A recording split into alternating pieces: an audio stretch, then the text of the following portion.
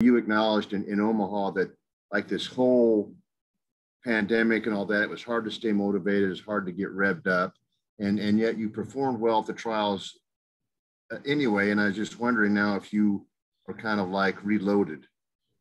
Yeah, I mean, I would say that I performed okay. I wouldn't say well. It wasn't it wasn't great by any means. I was pretty disappointed with it, but regardless, I made the team. But yeah, I'm on the same schedule as basically everyone else. Kind of this week is up in the volume a bit, not not quite to the peak of where we were, but back on the volume a little bit, and then back down as we go to Hawaii.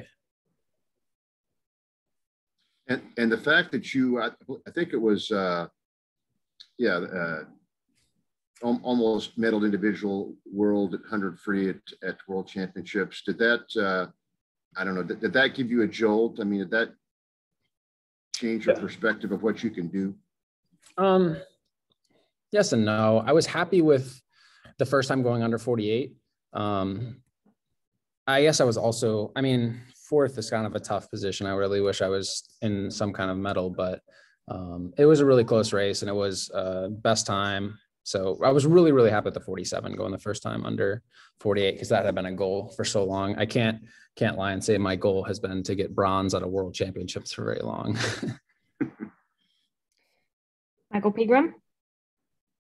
Blake, I wonder if you could compare the the pressures of trying to make the team as a post grad or you know professional versus when you were in college. Is it is it a different mental uh, mental thing going on in your head when you go through the trials? This time, the uh, anxiousness of the meet really, I felt that very heavily. And last time, I don't remember that as strongly. The pressure probably a little bit more now, but I feel like that's just because of the COVID year and everyone was like ready to do it. And then we're like, oh, let's just hold all this for another year. Um, but really, the anxiousness was just like the last four weeks leading into Olympic trials felt like it took you know a year for me. I just wanted to get to trials. I wanted to do it. Even sitting in the hotel room between prelims and finals it just felt like time was just dragging by.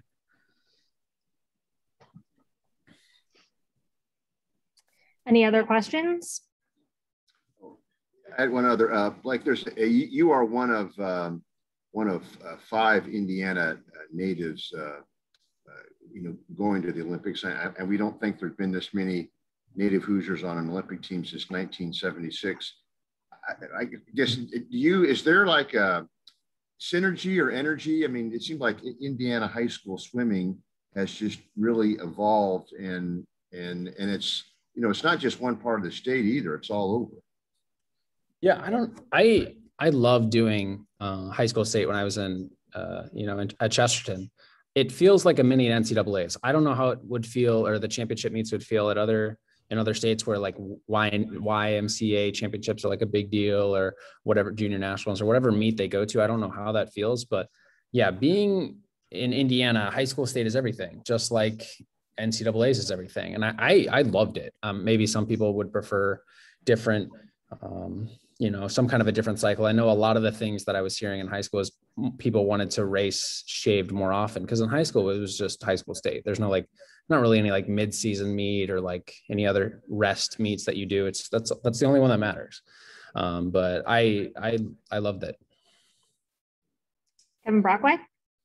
Yeah, Blake, I'm just curious if you have any, you know, concerns about Tokyo, about, you know, the state of Japan with COVID and so forth, and how careful you're going to be there in the Olympic Village and so forth, and what they've told you about maybe some procedures.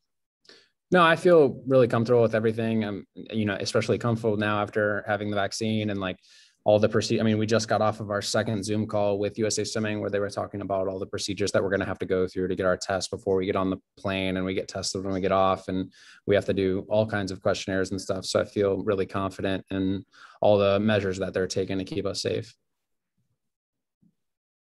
All right. Last one, Michael Pegram.